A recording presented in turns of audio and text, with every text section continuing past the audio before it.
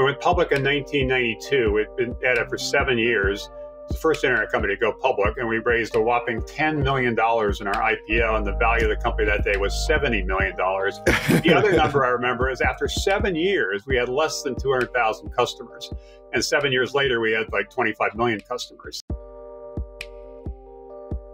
Hello, fellow data nerds. My guest today is Steve Case. Steve was the CEO of AOL from 1991 to 2003. He's also the chairman and CEO of Revolution, which has invested over $1 billion in startups and is the author of several books, including Rise of the Rest and The Third Wave. Steve, welcome to World of DaaS. Great to be with you, Auren. I'm really excited. Now, you've been heavily involved with the internet really since before it was even a thing. Like it was back in the day, it was like illegal for consumers to access the internet when AOL was first formed. And in the early 90s, even only, I think, like 3% or so of the country was online. As someone who's thought deeply about this for over 40 years, what, what kind of surprised you most about the evolution of the internet? Well, you're right. When we were got started in 1985, it was just 3% online. I think at the time, those 3% were using the internet on average one hour a week. Oh, wow. So it was pretty early days, not just in terms of people using it, but the amount of time they used it. Some of it was because a lot of the online service at the time CompuServe and some others you know, often were ten dollars an hour. So people were on as little as they could possibly be to get their you know, whatever they wanted you know done. Uh, and at the time, nobody knew about online services, the internet. Nobody really cared about them. Uh, most people, when we were starting, didn't think it was ever going to you know, amount to much. So it's been an interesting journey over the last uh, four decades. One of the surprises is, frankly, it took so long for people to embrace it. It was really a decade from the time we got started, sort of 85 to 95. It was a slog, and we were, you know, really trying to fight to stay alive, fight to get people to, to see the value of being connected, fight to get PC manufacturers to build modems in because at the time they thought it was not something most people would be interested in. So you have to, you know, buy a peripheral device, a modem to, to get connected, get the communications companies to build bigger networks at lower cost. There were a bunch of battles we had to fight in that first decade, but mostly it's because people didn't think that most people would ever see the value of being online. It, it, it, it seems crazy now in retrospect, but the in the 80s and, and most of the 90s that was the you know, the case. So it took longer to get going longer to get traction longer to get kind of take off velocity than i would have uh, expected. Uh, but what's obviously what's happened since has been you know quite uh, phenomenal. And particularly uh, i hate to say it but during the pandemic it was interesting that after all these years trying to get people to take it seriously, suddenly the whole world was operating uh, on the internet and you know, wouldn't have been able to move forward without access to the, the internet and, and so forth. So it's been a great journey. I, I remember, you know, in the in the early '90s, like being in college, and like everyone used the internet even back then because it was it was free to access right? Um, you didn't have to. It was it was like it, the maybe the main competitor to the college internet was like America Online at the time. America Online, I think, still charged like per hour, right. which for a college kid it would be extremely expensive, especially for a lot of us who were spending you know somewhere between five and six hours a day on the internet we wouldn't have been able to afford it so it at some point like we moved from like a time based thing to kind of an all you like a monthly fee, all you can eat, right? When when did that start to well, shift for most consumers? There's two parts of that. One, when uh, as you said in the intro, when we got started, consumers and businesses were not able to access the internet. It was right, only non-commercial yeah. use. So if you were a, on an educational campus or a government institution, agency or something, you had access to the internet. But if you're a consumer at home or a business, you didn't have access to the internet. So for the first few years, we and others had to almost create our own parallel universe. Of, you know, which is why it was called online services back then. And it was uh, 89, 90, I think, when Congress passed the legislation to commercialize the, the internet. And it was a few more years before we were able to move from hourly pricing to essentially you know, flat rate monthly pricing uh, because the, the, new network architectures had shifted to allow that to be possible. And people made, including us, made very significant investments in expanding the, the infrastructure. And not surprisingly, that also is when things started accelerating. With some combination of being able to get the services to be easier to use, just more accessible, more useful in terms of what people could do, more fun, so there was more reasons to do it, but also more affordable. So moving away from the meter ticking to towards uh, flat rate monthly pricing. And and in, in some ways, like the the key killer app was is was was and still really is communication, right? Right. Now, for, for, for us, it was for two reasons. One is we did believe when we got started, again, 1985, that the killer app of the internet was going to be people, connecting people in different ways, both people you already knew, ways to stay connected, friends, family, etc., as well as people you didn't know, but maybe would like to know because you had some shared interest in a, in a particular you know, topic. So we believe that you know content obviously is going to be important, commerce obviously is going to be important, but community was going to be most important, and we placed a, a big bet on that. And and you know the whole time I was involved with AOL from the time we started until the time we merged with Time Warner. I stepped aside as CEO, which was you know 16, 17 years.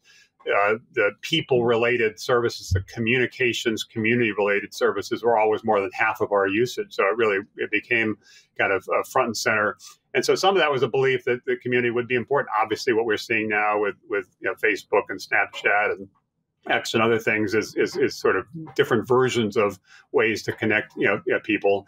Uh, so that dynamic still is, is is true today. The other reason we did it though is when we got started with AOL, uh, it was really hard to raise venture capital back then. There were only a few firms, and most people didn't think our little dinky firm outside of Washington D.C. in Tyson's Corner, Virginia, was ever going to amount to much. So we only raised a million dollars in our first round of financing to launch our first uh, first service. Hello, fellow data nerds. If you're enjoying this episode, please hit that subscribe button.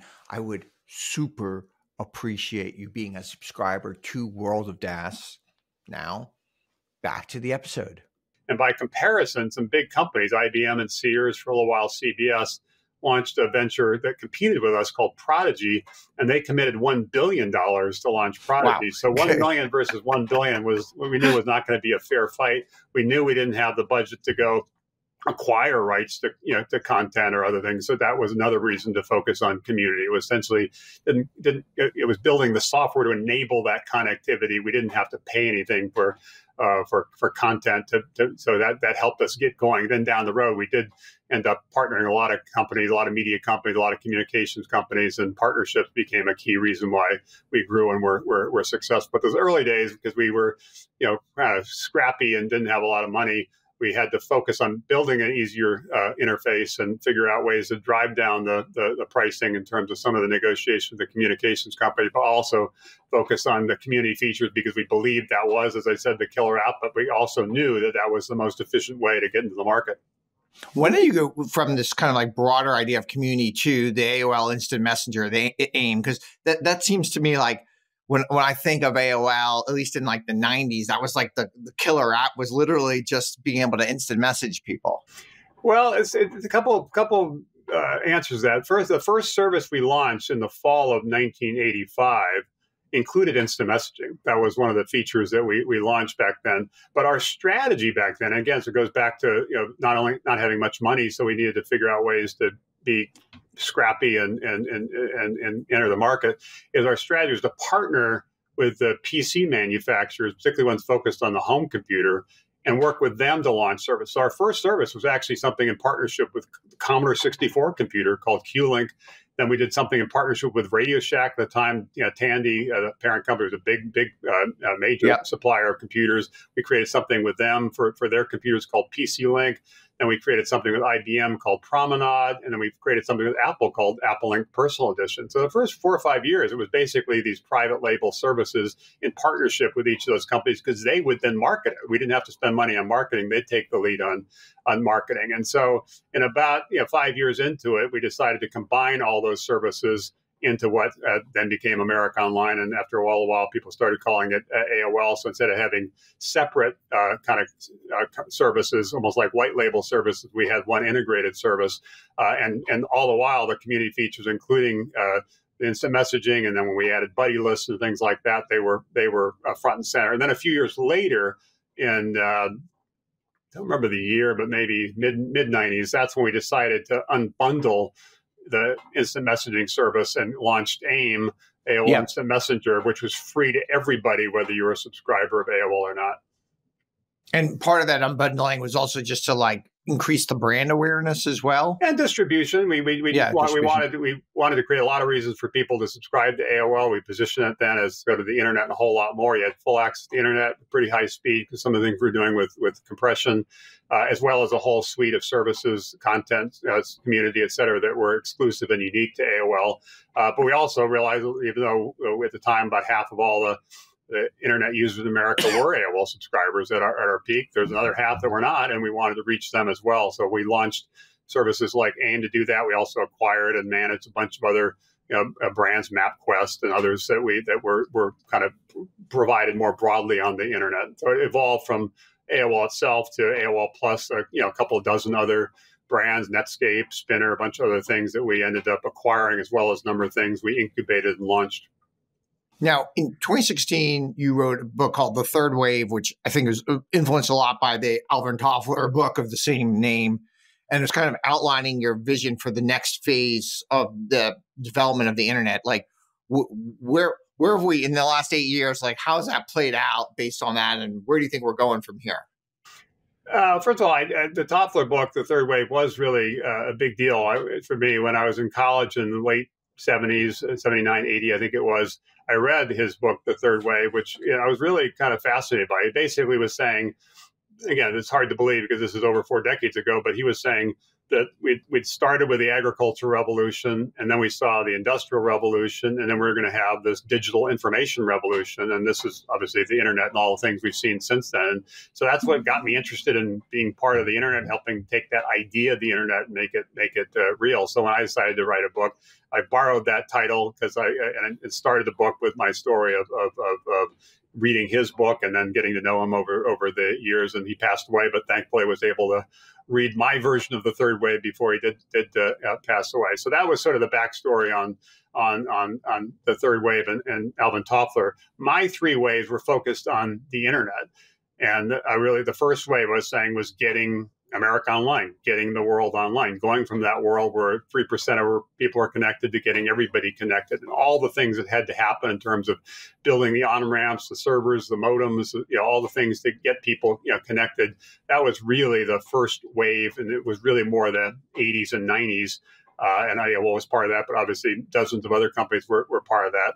That then set the you know the the table for the second wave, uh, which since all that infrastructure was now built and everybody was connected, you didn't have to worry about that. So essentially, as you well know, it was building apps and services on top of the internet, and Google and Facebook, all these things essentially were running that play. So we can take in for fact, granted we, we in some ways we got lucky, right? Because in uh, maybe ninety nine, you know, late nineties, we had a bit of a bubble, so we we almost overbuilt um, and, and, so then we had a lot of opportunities to take advantage of it in the in the in the first decade of the 2000s. Yeah, first of all, it went from nobody being connected to everybody being connected. One yeah. one data point I remember it took us we went public in 1992. We'd been at it for seven years. Was the first internet company to go public, and we raised a whopping $10 million in our IPO, and the value of the company that day was $70 million. the other number I remember is after seven years, we had less than 200,000 customers. And seven years later, we had like 25 million customers. So it was wow. a slog in that first phase, and then things started taking off. So the, you know, the adoption of the internet yeah, obviously accelerated. As you said, the investment in infrastructure, broadband, other things accelerated. So once that first wave was complete, the second wave was was launched, and obviously a number of things happened uh, there that were basically software apps running on top of the internet, and, and the combination of that and mobile and smartphones and app stores and so forth obviously has been been critical. So now we're in the third wave. I wrote about almost a decade ago, and to me, that's when the internet meets the real world, and you, you start taking on big uh, sectors of the economy, important aspects of our lives. You know, healthcare, food, agriculture, education, financial services, transportation, you name it.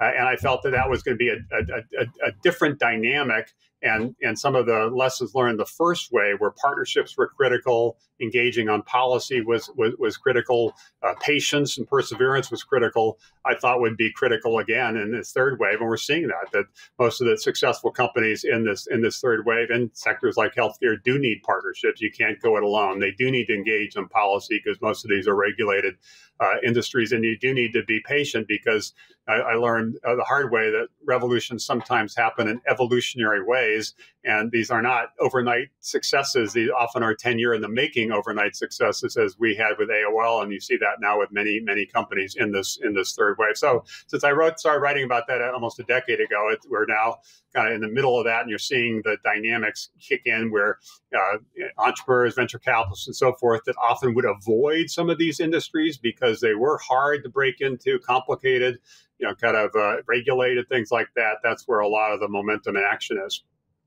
You you talk a lot about how like there's these incumbents and they partner with disruptors. Like, what are some good examples of that over the last decade?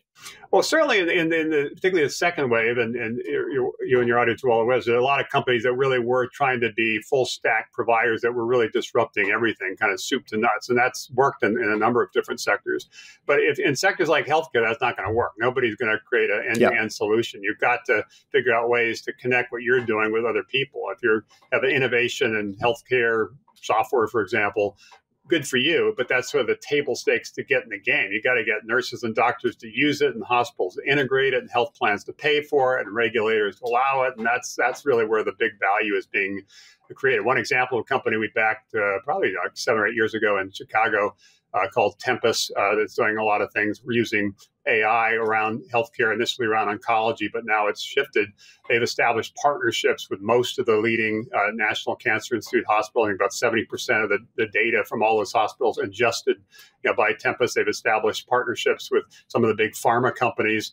Uh, and so they built interesting technology, but it was the partnerships they formed that really were, they, were the way they were creating most of the value and navigating the policy you know, world is where they also created a lot of uh, value. But there are many other examples in other sectors as well where where the incumbents need to partner with the disruptors because they don't have the agility, don't have some of the innovative ideas. But the disruptors also need to partner with the incumbents in a in a way that we didn't see really in the in the second wave.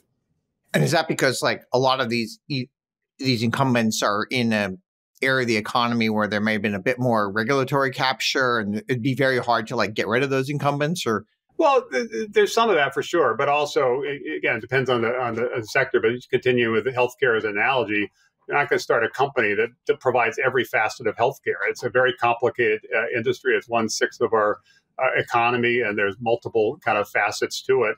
And so, trying to some people are trying to do certain aspect of certain slices of that.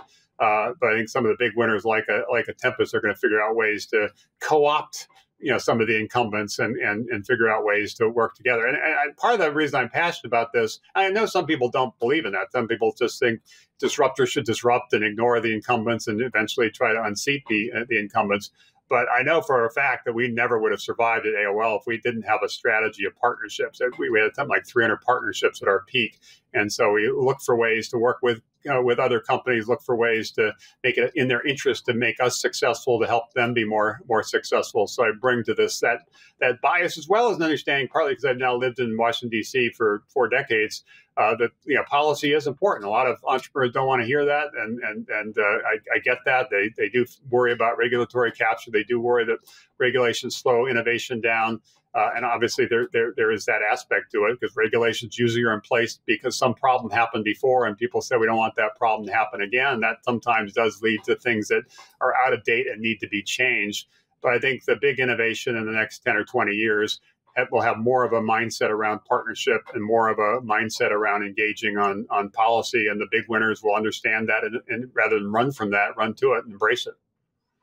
There's been this debate um, amongst a lot of folks where some people say, okay, there's been a ton of innovation over the last 40 years. And some people say, yeah, but that innovation really is just in bits. And we haven't really seen that anywhere else outside of the bits because of um, a whole bunch of different factors. Where do you fall down on that debate? No, both are true. We have seen a lot of innovation for, for sure, but it goes back to the way I framed the, the way I think about the third wave when the internet meets the real world. And, you know, these, these are big industries, important aspects of our lives. And and and they take time to really kind of reimagine and, and make the plays. A lot of them require systems integration, like like healthcare, uh, to really get uh, get traction. So I, it's amazing to me, having uh, been doing this now for for decades and starting at that early stage that we talked about when the internet really was more of an idea than a, than a reality. It's amazing to see all the progress we made.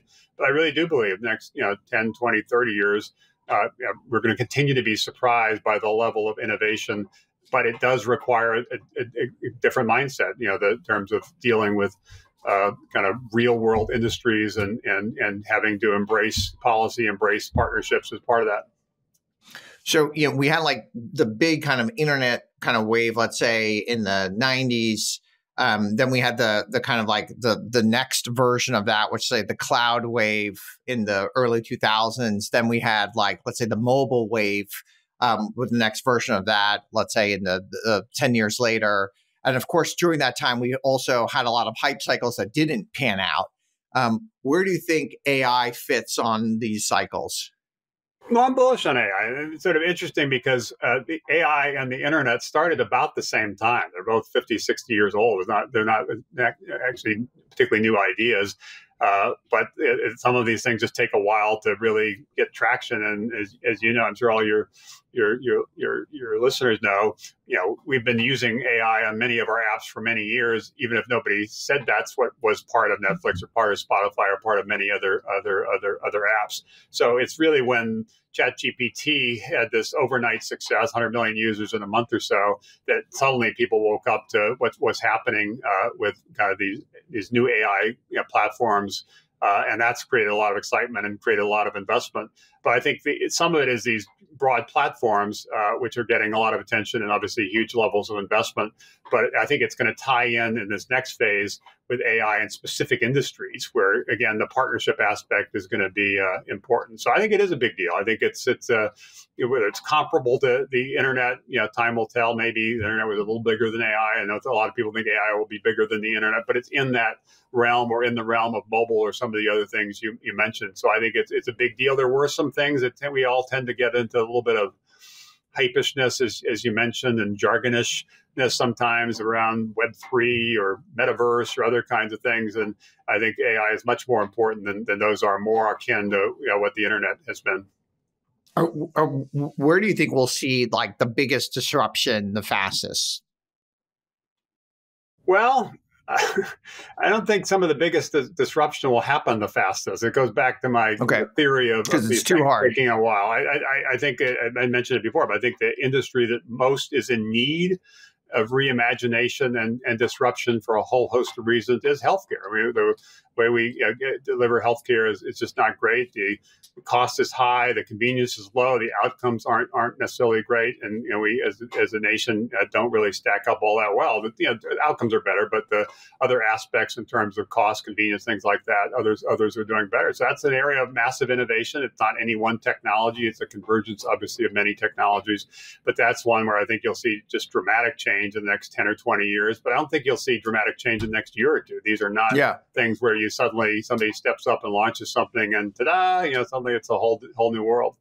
It's hard to predict though. I, I remember e- even even more than 10 years ago, a lot of people a lot of radiologists were very worried that their job was going to be put out all those people are still employed today. None of them have had to get like completely retrained to do something very, very different.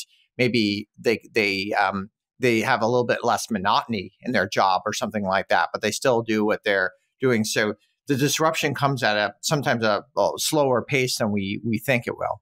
Yes, and some of this uh, uh, autonomous vehicles are a good example. Ten years ago, the conventional wisdom is it's going to happen overnight, and both new companies would emerge, big car companies would do it, the the, the yeah. you know, Uber and others would would do it you know, it's happening, but it's happening relatively slowly, in part because the technology took longer to develop than, than, than people thought, and in part because regulations, were, in that case, were kind of city by city uh, regulations, and some were more eager and others were more concerned. And just even consumer, you know, confidence and, and, and trust is, is still needs some some work. So that, I think that's going to be more common in some of these these new areas. It's going to require, I think, more. I know people want to hear this, but more patience and perseverance than than maybe we've gotten used to in in the last in the, in the internet second wave when you did have a, Mark Zuckerberg launch something in his dorm, and a year or two later it was a you know global phenomenon. Uh, there'll occasionally be those those situations, uh, but because we're now shifting from launching apps to launching broader based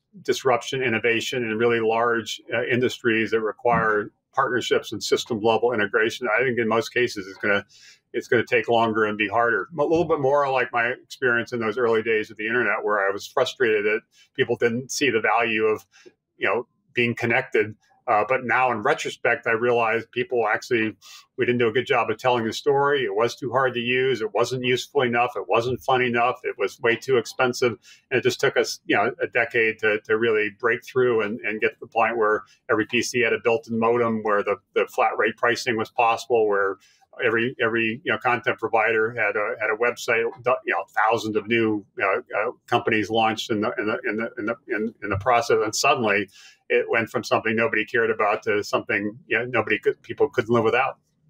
Now, when I think of Steve Case in the last 10 years or so, I think of the rise of the rest. So I think of this, your focus on really everywhere in the country except for New York and California, let's say. Um, and still today, like most of the venture capital goes to New York, California. Um, most of the if we include Seattle, most of like the internet activity that you know happens if maybe if you include Boston for biotech right. as well, right, happens in the very very small amount of concentrated things. Like, do you do you see that changing marketably over the next ten years? Yes, I hope so. And, and we've worked uh, for over a decade on this. I first got into this 13, 14 years ago when I was asked to co-chair the National Advisory Council on Innovation and Entrepreneurship here in Washington. That led to uh, launching an initiative at the White House with President Obama called Startup America. Got me traveling around the country and then worked on as Jobs Council, helped pass some legislation called the Jobs Act 10, 11 years ago. Uh, and then we launched Rise of the Rest with bus tours about 10 years ago, then launched a venture fund maybe six years ago. Uh, and we now made over 200 investments, 100 different different uh, cities, with the idea that there are great entrepreneurs everywhere that do need capital, do need to be connected to other people in terms of networks, do need stronger, more more supportive uh, startup uh, communities. And we have seen progress. When we started started on this effort, people thought it was a little bit crazy, kind of like the early days of the internet. People thought it was a little bit crazy.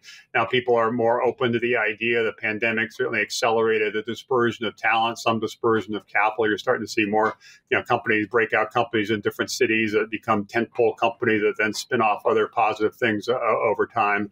And even from a policy standpoint, there's now a real focus on this with including the Chips and Science Act that's funding tech hubs that, that will be helpful uh, as well.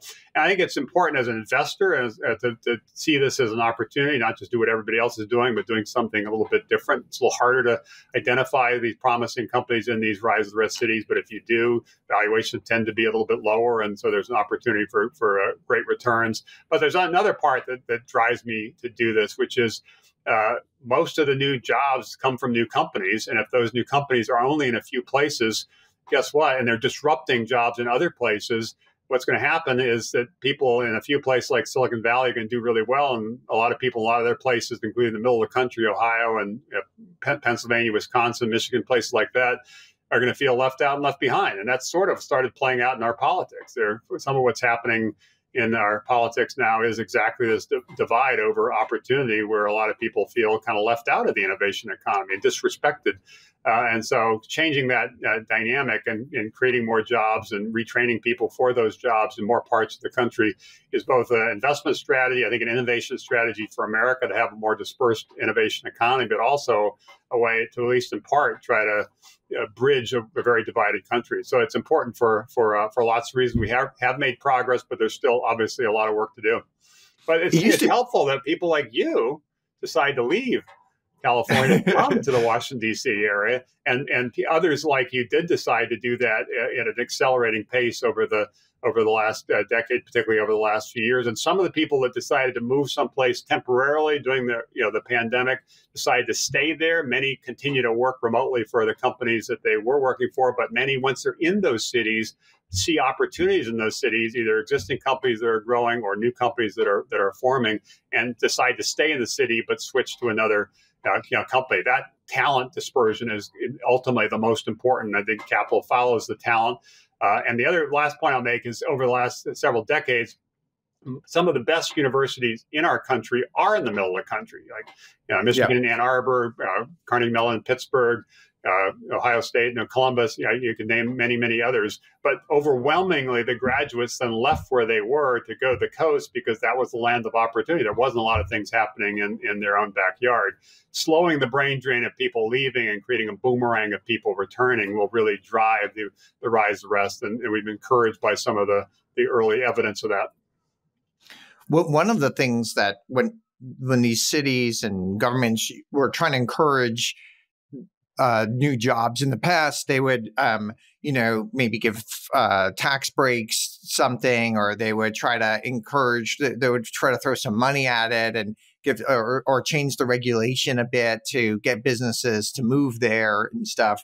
But it seems like during the pandemic, people didn't move places because of those reasons maybe sometimes uh, just like uh, uh, income tax that that might have been a reason, but they moved because they they they want to be either closer to family or there was better schools for their kids or a better way of life or they like the restaurants.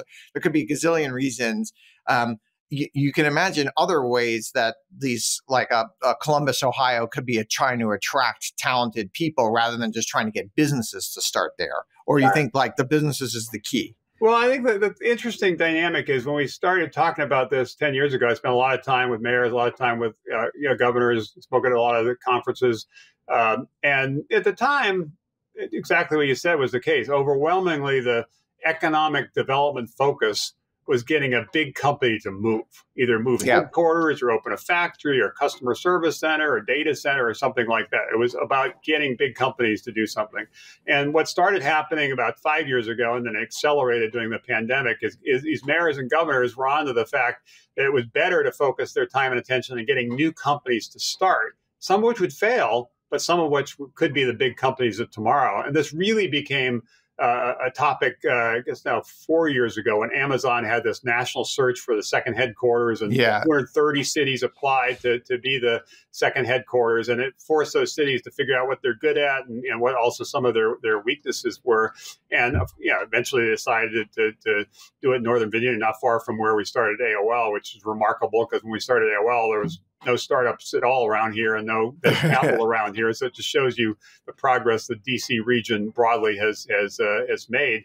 But interestingly, a lot of those quote unquote losers said, "Let's keep fighting and let's." Use what we did to put together our Amazon bid and try to focus more on the next generation of companies, try to launch something that maybe could be the next Amazon. And so that focus has really uh, kind of gotten a lot more momentum in, in, in recent years. And that's one of the reasons I'm optimistic about what's going to happen in the next you know, 10, 15, 20 years around Rise of the Rest. But these, these, even if they do become big and, you know, most of these uh, companies don't employ that many people at headquarters. Um, you know, most of Amazon employees are in in various warehouses all across. They're already all across the U.S. Right, um, but like the number of people in Seattle is relatively small um, compared. Like we're not, you know, about creating like millions of jobs necessarily. So like well, or, yeah, no, do you think it's or is it like a trickle down you think that like really helps these uh, local uh, economies well, when I first met Jeff Bezos and he was just starting Amazon and pitching to be on AOL and it was a book book service, you know, they had like, I don't know, five or 10 employees and said, well, if they're successful, maybe they'll end up with, I don't know, 100, 200, something. Well, it turned out, turned out it was a little bit bigger than that. And, yeah. and so you never know with these things. And example, I mentioned that company Tempus in, in Chicago. They now have over a thousand employees in, okay. Chicago. Yeah. StockX, we backed in Detroit. They have over a thousand employees. And in Detroit. So you, there are jobs created by these companies in these different cities. But you're right, and you know, they're over as the companies really scale, they start distributing their their their workforce, and and and that is going to accelerate in these in these next uh, few years. And we saw a lot of it during the the pandemic. But launching new companies that have the potential to grow, even AOL, we started in Tysons Corner, Virginia. We started with about 30 employees. Our peak we had when we merged with Time Warner, we had 10,000 employees, and the majority of them were in Northern Virginia. And some of those people then went on to start other companies or start other venture funds, and you get that flywheel going. A great example is Indianapolis, this company Exact Target, got started yeah, by uh, sure. Scott Dorsey, and and they eventually yeah. sold to Salesforce. At the time, they had a thousand employees, and uh, you know, uh, and and Salesforce doubled it. Uh, Salesforce now has two thousand employees in Indianapolis, their second largest office outside of San Francisco. And Scott and a lot of the early ExactTarget people have gone on to start several dozen other companies focused on enterprise software in Indianapolis. And you know, 10 years ago, you visit Indianapolis, most people would say nothing's happening. Well, it turns out a lot of things happening. And that's true with dozens of other cities uh, as we've traveled around the country and made these investments. In a world where in a world where remote work is increasing and more people can work um, from home, uh, potentially multiple time zones away from the headquarters, um, and just work from home in general.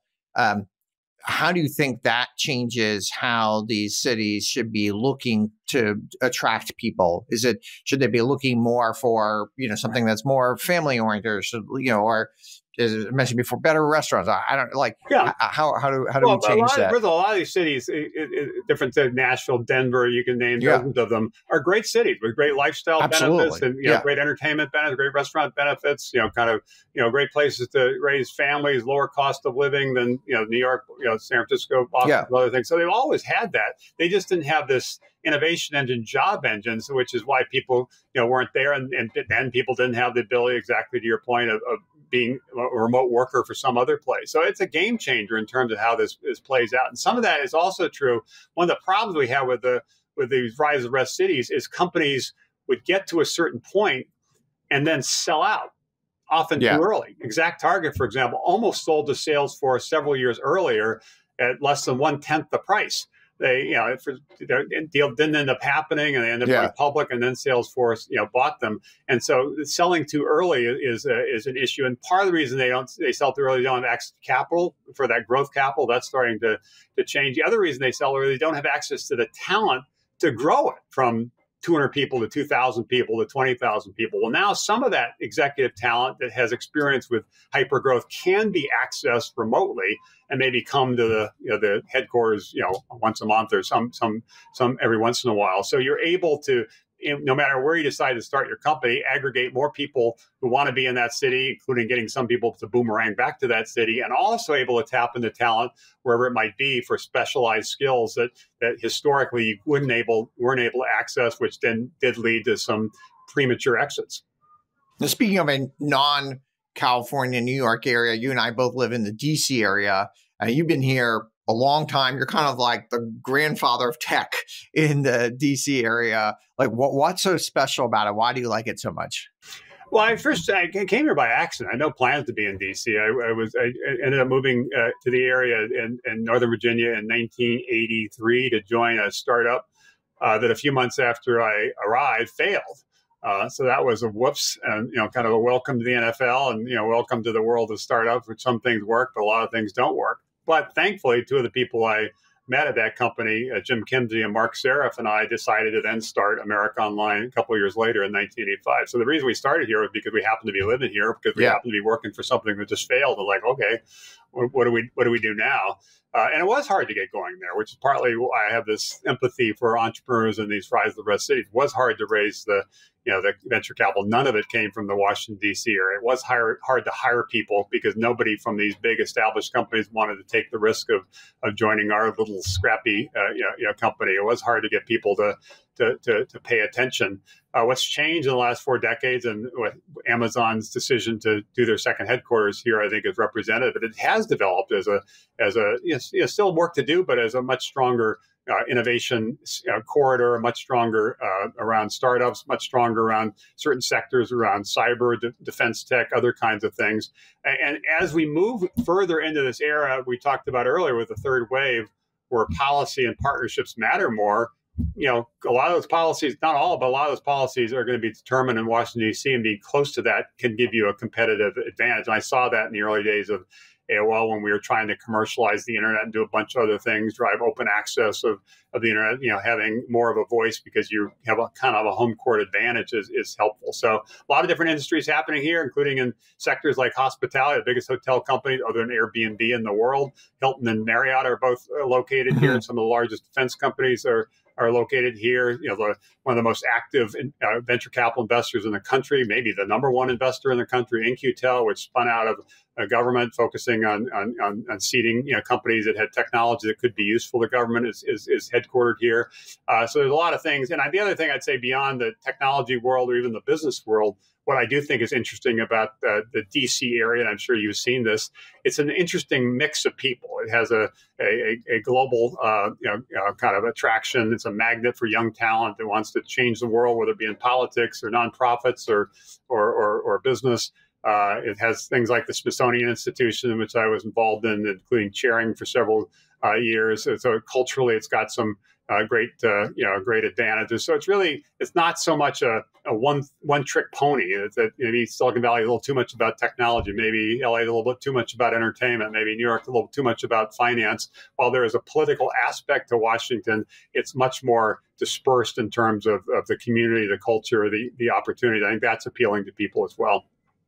The one of the like I guess I would say both advantage and disadvantage of the culture in DC is it it seems to be good at working on hard problems that take a lot of time and like good at kind of like the plotting um, and it doesn't seem like as good at like getting places in a hurry um, I, I, don't know if you would agree that's with fair. me or not fair.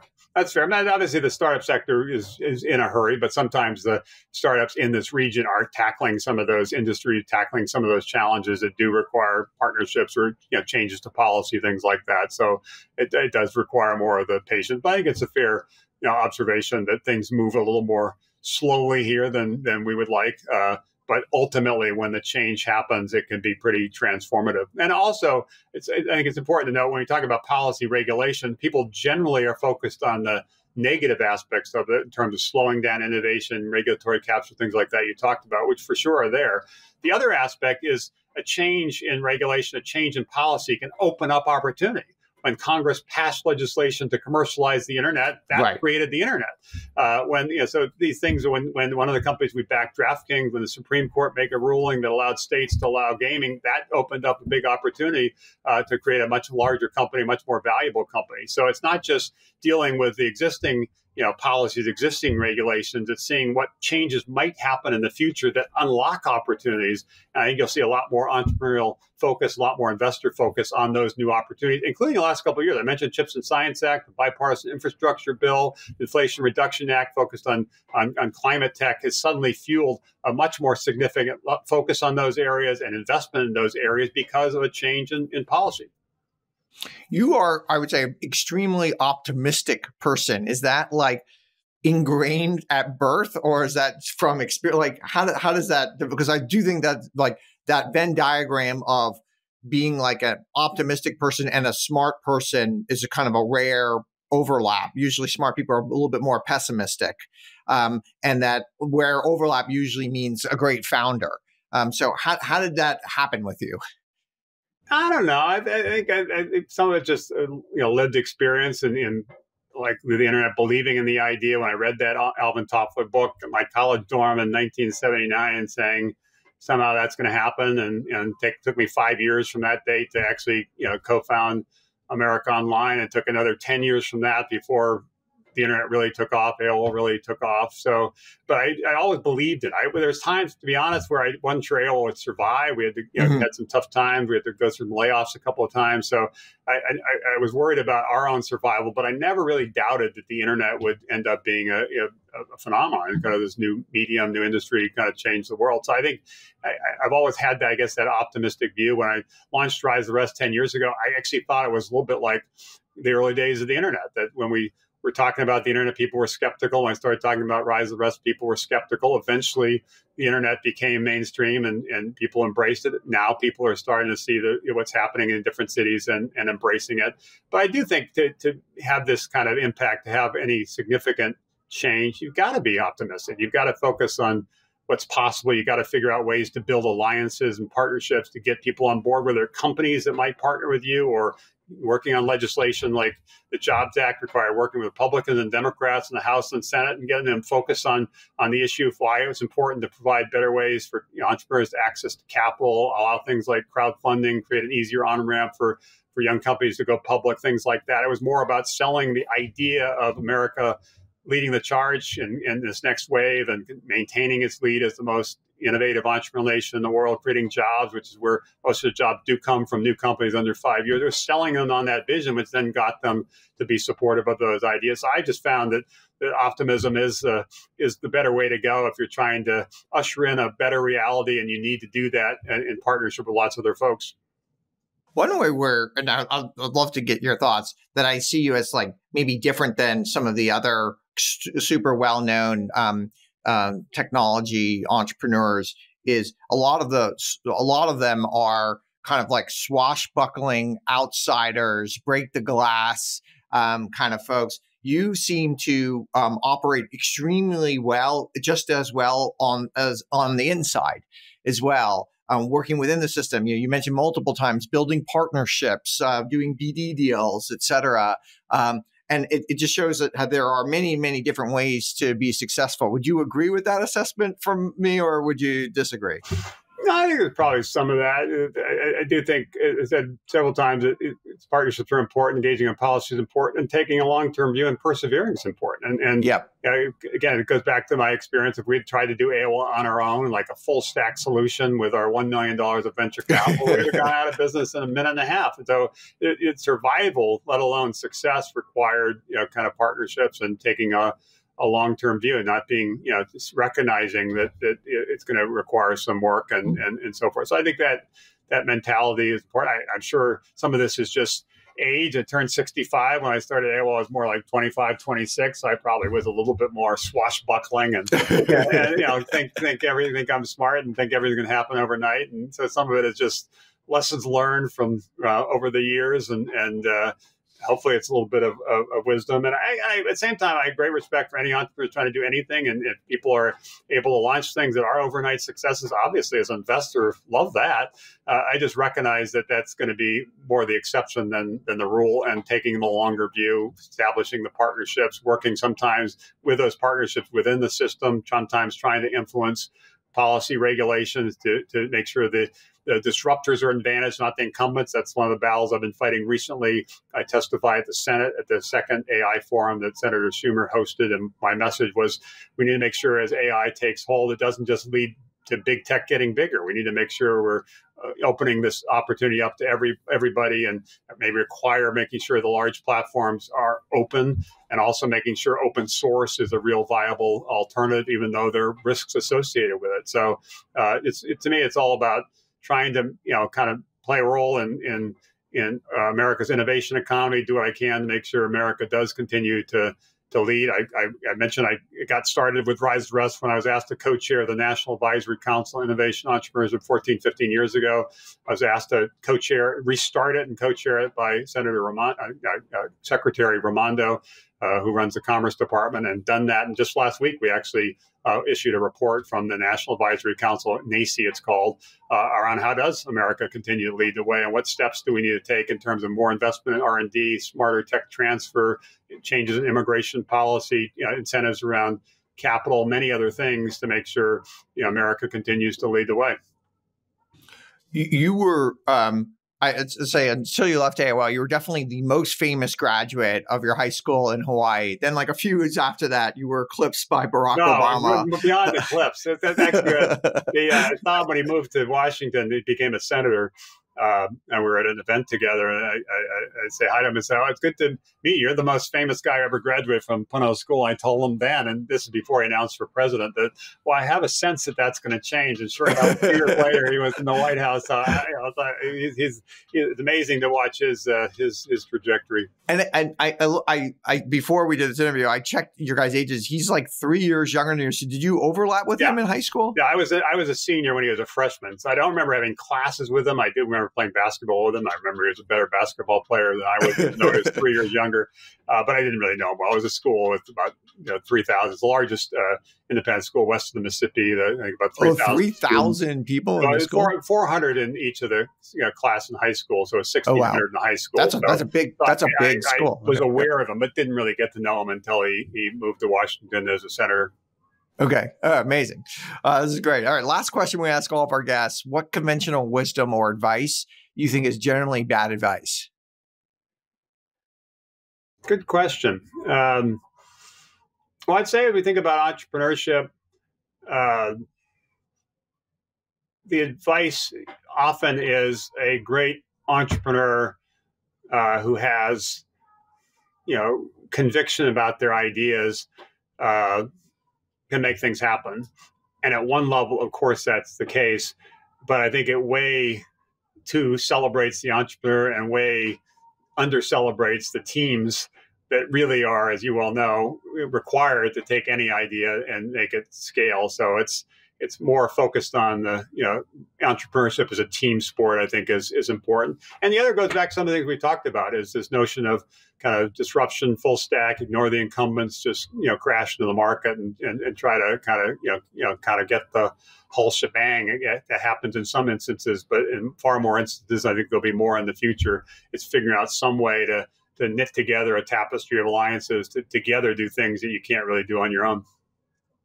Sure. Go. I'd love to ask you a couple questions on the first one. So on the first one, you're basically saying like the the the founder is less important than we than we um um, um kind of uh, uh, ascribe to them. Well, I wouldn't say that I would, less important, but because obviously they're important. They're the, the yeah. leader and they, they, they, drive it forward and, and, and they're critically important.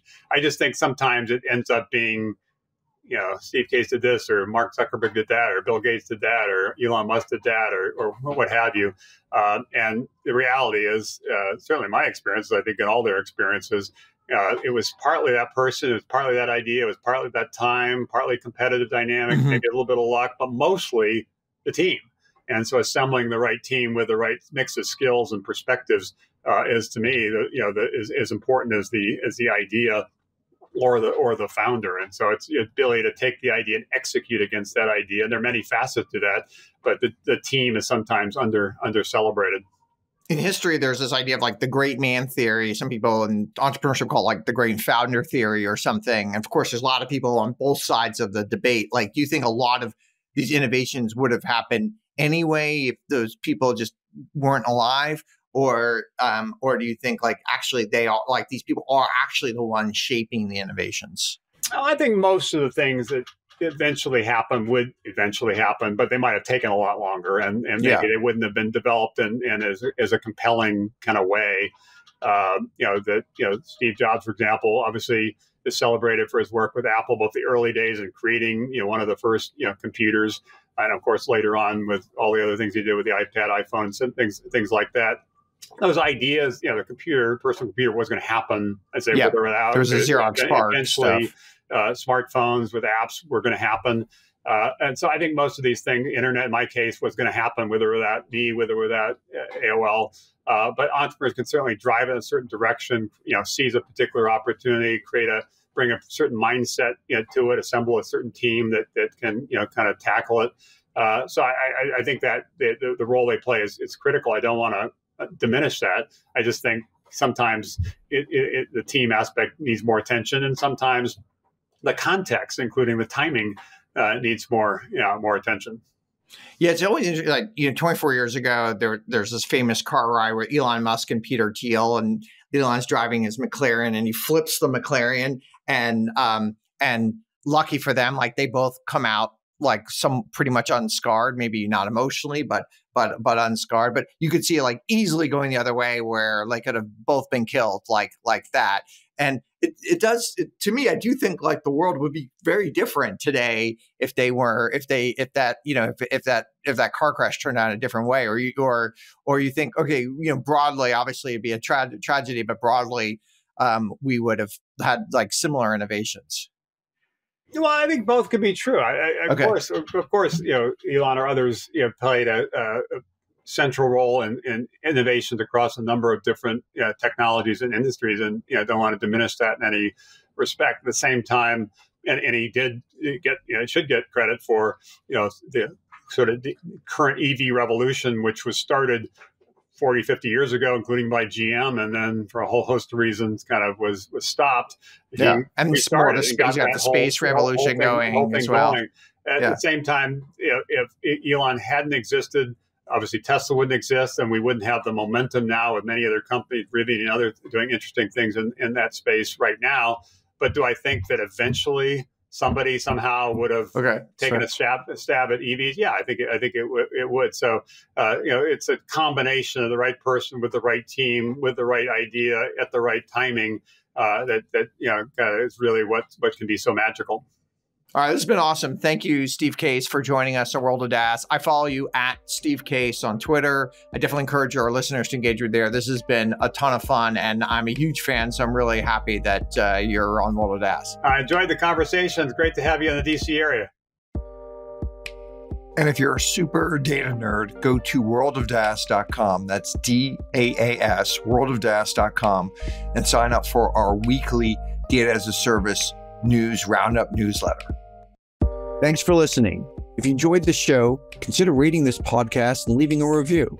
For more World of DaaS, and DaaS is D A A S, you can subscribe on Spotify or Apple Podcasts or anywhere you get your podcasts. And also check out YouTube for videos.